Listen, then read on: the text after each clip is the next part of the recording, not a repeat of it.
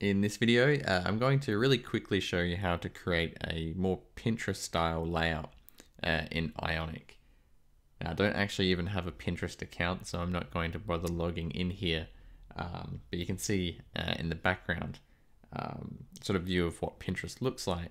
And you kind of have these um, cards with images on them, and they're all kind of sitting one underneath the other.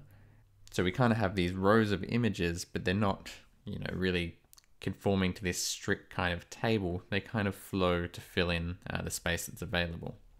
Now the default behavior uh, for the grid uh, with ion row and ion col in Ionic uh, kind of does this, but I've got an example up here where uh, if you, you know, if you have a whole bunch of things, a whole bunch of columns in your row, they will automatically flow on to the next row uh, as it reaches the end of the screen. But if you have inconsistent uh, image sizes or card sizes or whatever you're using, they don't kind of flow to fill in all the available space. There's kind of these rigid uh, rows, and so it's just going to be as tall as the largest image in that row essentially. So what we want to be able to do is have, say this 200 by 200 image here, we want that to sit up right next to the 175 and this 175 uh, image here should stay where it is and this one should move up and everything should fill in all these white spaces. And so there's a pretty simple way to do this just with uh, standard CSS and divs. Uh, and I'm going to show you how to do that. So the default code we have here, this is just the Ionic um, way to do that. We have our ion row and an ion col.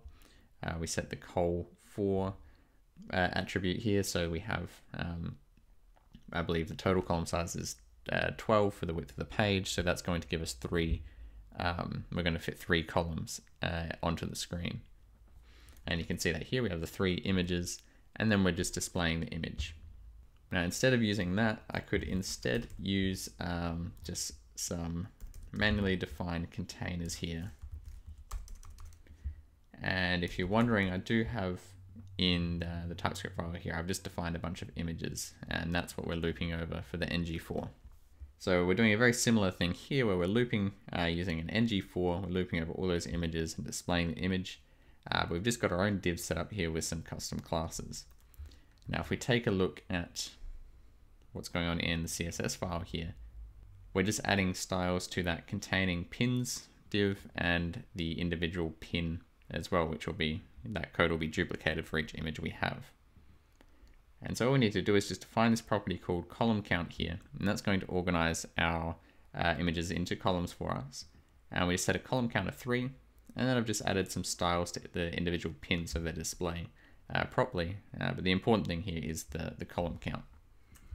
So if I save all this and jump back into the browser, you can now see that the images are sort of flowing uh, one underneath the other now, whereas before uh, when we used the, the ionic grid, uh, things were kind of stuck in those more rigid rows. And so I can easily just change the column count here. I change that to column count 4, and that's going to now organize our images into uh, four columns instead of three. And so maybe if I just, um, I'm going to duplicate these a bit more, just so we can see the effect on a, a larger scale. Uh, make sure I don't miss that comma there. Uh, so let's take another look now. So you can see everything here is flowing one underneath the other and these big chunky 300 tool uh, images aren't really causing us any problems.